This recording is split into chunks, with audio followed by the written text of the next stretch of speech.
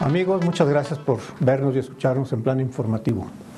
Hoy quisiera compartir con ustedes la percepción de muchos de nuestros conciudadanos sobre la pérdida de un elemento vital para el sano desarrollo de la sociedad potosina.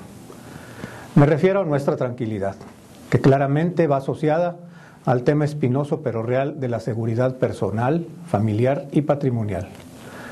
Si hacemos una retrospectiva a años pasados, pocos en realidad, era proverbial la tranquilidad que se respiraba en nuestras calles, colonias, plazas y jardines a todas horas del día.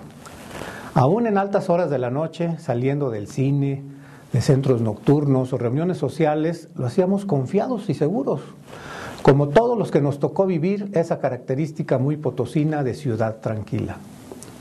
No estoy diciendo que no estábamos expuestos a accidentes o que no hubiese ilícitos. Claro que los había, robos, asaltos, incluso homicidios, como en toda ciudad los teníamos, pero en una medida reducida y controlada. Hoy el país entero ha cambiado dramáticamente en este aspecto. En algunos lugares incluso podemos hablar de una inseguridad de espanto. Nuestra ciudad y estado no son una isla, no tenemos tampoco un capelo que nos proteja de la realidad que penosamente vive gran parte del país. Afortunadamente, no se ha llegado a esos niveles y esperamos que nunca, jamás llegará a ello. Sin embargo, se sabe que en la zona huasteca del Estado, el secuestro y la extorsión se han estado dando con alarmante frecuencia para desgracia de sus habitantes. Aquí en la capital la percepción social de inseguridad es clara se ve por todas partes.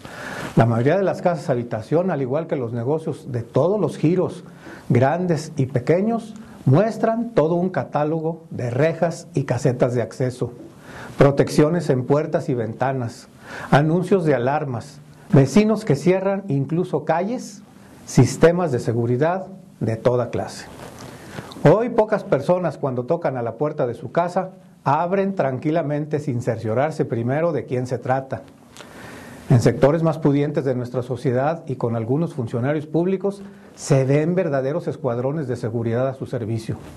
En ocasiones, cuando el ciudadano común se topa con este despliegue de protección privada en la calle o a la entrada de los colegios o en clubes deportivos, en eventos sociales u oficiales, etc., se siente intimidado por su actitud y aún solo por su presencia, a la que no acabamos de acostumbrarnos.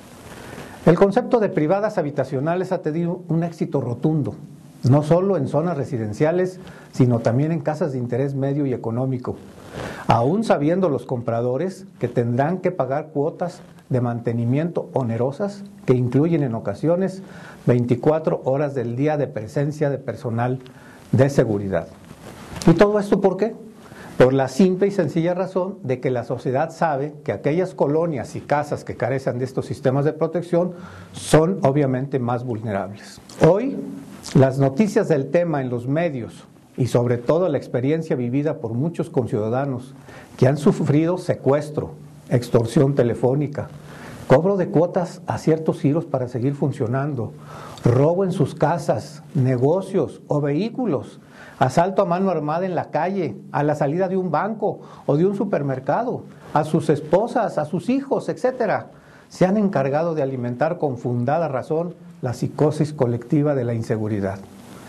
¿Quién de nosotros no ha vivido o conoce a alguien cercano que no haya pasado por situaciones semejantes?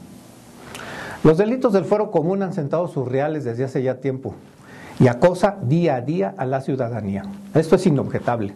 Los delitos del fuero federal, como el narcotráfico, posesión de armamento prohibido, trata y tráfico de personas y otros que generan una violencia feroz, se oyen y se ven con más frecuencia. Mi percepción es que todavía, afortunadamente, no tenemos los altísimos grados de violencia e inseguridad de otras latitudes. Sin embargo, no podemos desconocer la realidad nacional que nos rodea y dormirnos en nuestros laureles. Para no lamentarnos en un futuro que ya se ve cercano de ser plaza disputada por bandas rivales de delincuencia organizada, con las consecuencias desastrosas que esto acarrearía a nuestra comunidad, es necesario que la sociedad tenga de las autoridades responsables, al igual que de los medios, información oportuna y veraz de lo que en realidad sucede. Esto serviría además para contrarrestar la dañina rumorología. Aunado a lo anterior y tal vez más importante, necesitamos urgentemente como sociedad una estrategia eficaz de prevención. Esta se dará cuando todos estemos alerta y trabajando organizadamente en ello.